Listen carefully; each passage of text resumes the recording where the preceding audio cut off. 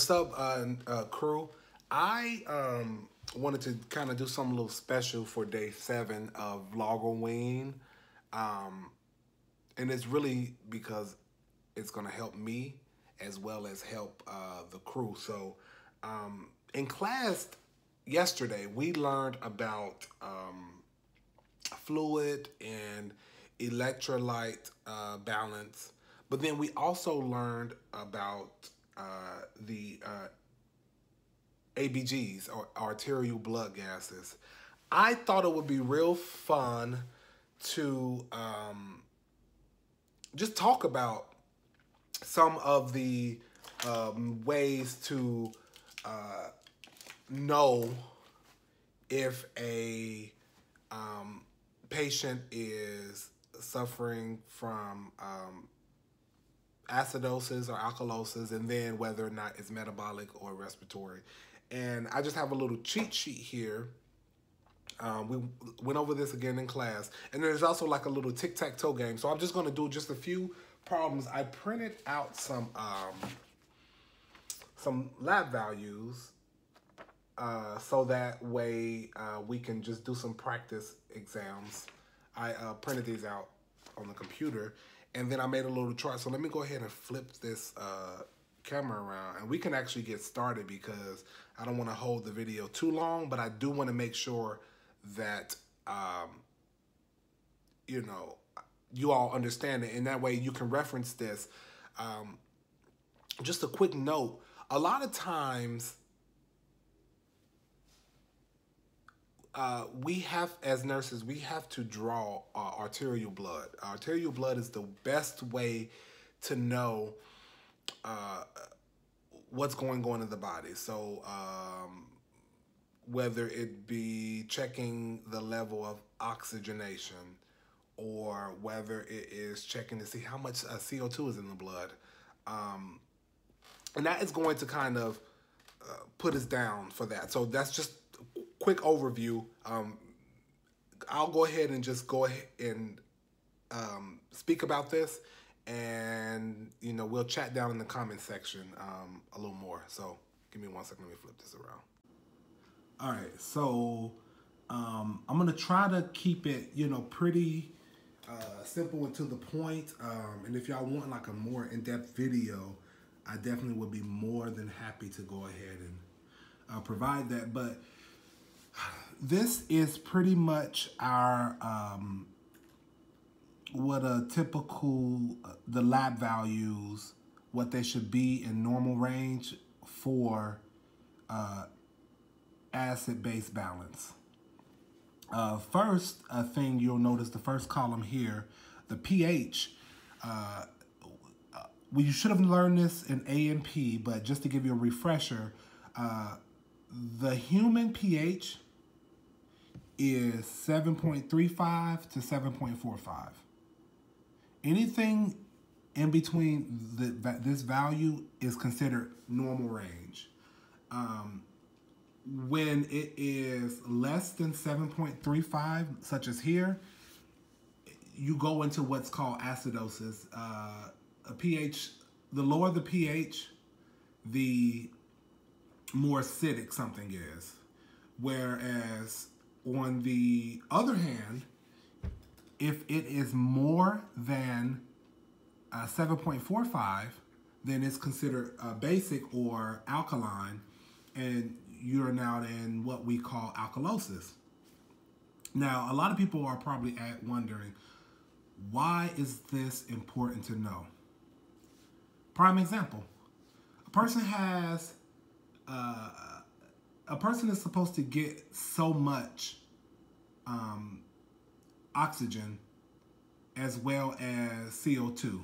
Um, that's just the way body's way of uh, regulating certain functions such as breathing or, um, you know, if someone loses an access of one thing, uh, such as an electrolyte or something, the body is going to work its way out to repair it. So that's what's really important is first just understanding why we are looking at this, it'll kind of give you a little more appreciation for it. So, not to ramble on, let's get to the point.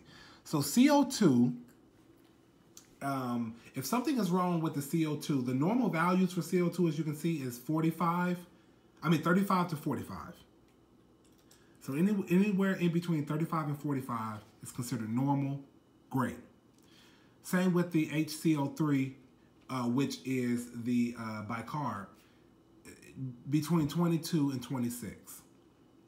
Now, the CO2 uh, is regulated by the lungs.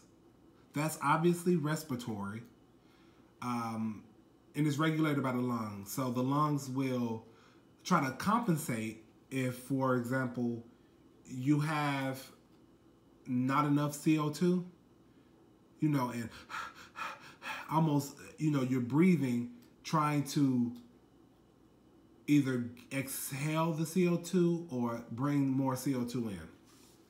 Uh, same with the kidneys. The kidneys are in control of the metabolic portion, and the kidneys signal to you know either release more uh, bicarb or you know decrease. So that's the main thing with this. So now let's talk about figuring it out. Um, there's a few ways to do this. Uh, the one that I have uh, kind of latched on to is one that I see a lot of people using, and it it's the one that's most effective uh, uh, for me. Um, and it's pretty much gathering the information here and going with the tic tac toe. So first, let's just talk about this just a little bit more here, and then I'll pull up the lab values. We'll go through, uh, do the tic tac toe, and you know the video. You'll be able to watch it over and over, which is pretty cool. So pH, we have a pH of 7.34. Let's just use that for example. 7.34. 7.34 is lower. So that's the first thing we look at. First thing we look at is the pH. What is the pH? The pH here, 7.34. So anything lower than 7.35 is acidic. So we know the patient is definitely in acidosis. Now we need to figure out if it is respiratory or metabolic. The tic-tac-toe is going to help us, but this is just a, a quick way to think of it. Okay. The uh, the bicarb, no, let's go. The CO2 is 49. We'll start with a lower number. 49. So it's 49 within the normal range. And the answer should have been no. Uh, 49 is an elevated CO2. So because we know it's elevated, this means anything over 45 is respiratory, right? The HCO3 or the bicarb is 24, which is within the normal range. Remember, the normal range is 22 to 26. 24 is normal, so we know this is good. So we know the CO2 is going to be regulated by the lungs, and we are in acidosis, so we are in respiratory acidosis. I'm gonna um, pull out the tic-tac-toe just to uh, go over one of the lab values and we will be able to um, do a few of those problems together just to kind of um, tie it all in so you can see it visually in another way. Give me one second. Okay, so this is the uh, the tic-tac-toe that I was telling y'all about uh, where, you know, you we have acid in one column, normal values in another column, base in another column. So what we're going to do is we are going to um, look at some lab values uh, because this is important. I'm learning as a nurse, so I, why not teach it? And then, you know, we're all learning together, so let's learn together. But we are going to see this for the entire duration of our career, you know, unless we're working in the morgue and then, you know. But e, either way, this is important. And this e even goes into a little more detail where it, it talks about uh, partial compensation and full compensation. We'll get we, will talk about that in another video. We'll save that uh, for another video. Um, if you all like this video, uh, I'll put another one out. But I just wanted to just just to touch on the the surface, just to graze over the surface, just to uh, help facilitate some better understanding for again for myself and for you guys. So let's start with these lab values. Okay, the the the trick is whatever column the pH falls in, and then if the uh, acid, I mean, not the acid, the CO2 or bicarb falls in the same one, that will let us know whether it's acidosis or alkalosis and whether it's respiratory or metabolic. So again, I'm not going to go into detail about the compensation because that's a whole way advanced thing. But let's talk about this. So let's look at these first lab values. Let's look at number one, the brown up here, up top. So we have a pH of 7.56, a CO2 of 20, and a bicarb of 20. So first thing, what I would do, I'm just to sit this out just a little bit and so we can pay attention to this. So the first thing I would do let, is let's put our pH. So going back to the original paper, a pH of 7.56 is that acidic or is that alkaline? Is that acidosis or alkalosis? Or is it normal? Because it can, it can be normal as well. So let's look and see.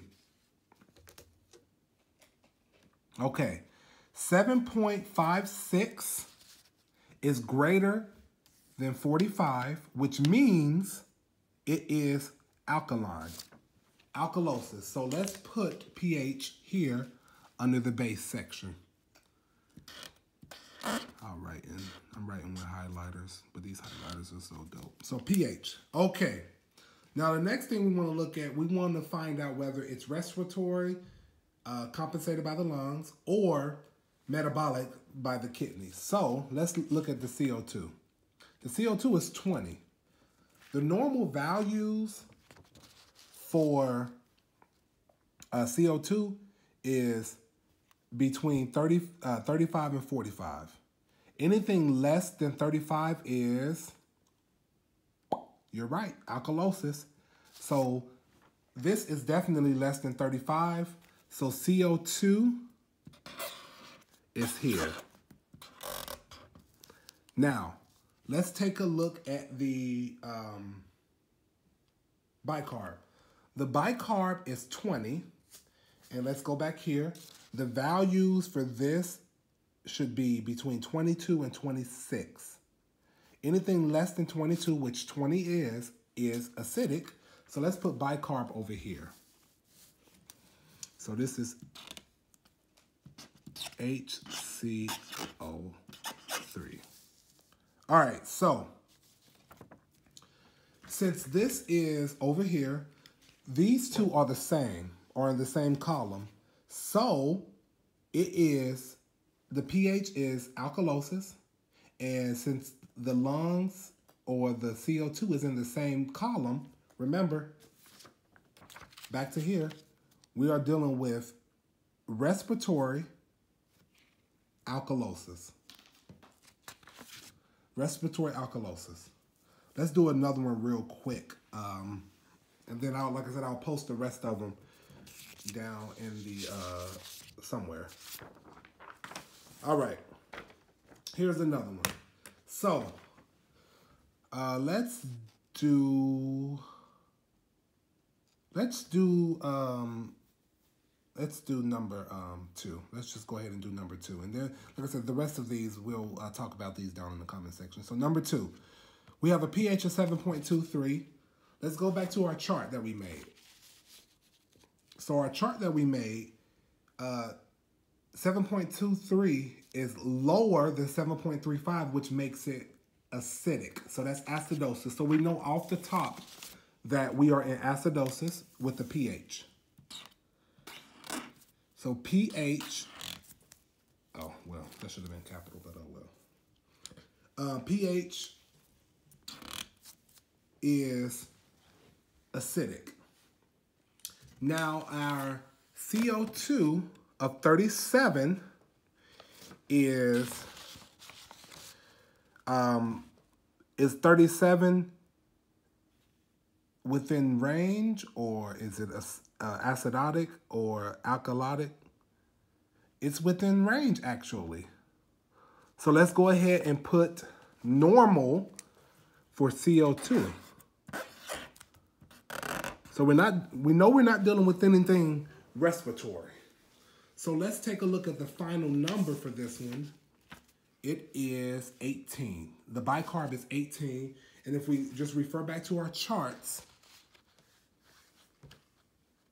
anything less than 22 on the bicarb should be, would be um, acidic, which would be metabolic because of the kidneys. We're working with the kidneys now.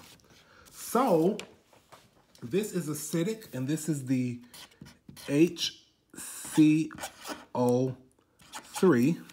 So now we're dealing with the uh, bicarb and the pH are in the same line here. They're both under acid. So we are dealing with metabolic acidosis. So um, again, I, I don't want to keep y'all too long. I'll we'll keep the conversation going down in the comment section. I just wanted to um, give y'all a little something different for uh, Vlogoween. Um, something really useful as well. So let me know if y'all have any questions or any other requests so we can get this together. And let's go ahead and survive this nursing experience um, as a team, you know, because, you know, we can't do it by ourselves, you know. Thank y'all for watching. Be sure to subscribe and I will holler at y'all later. Peace.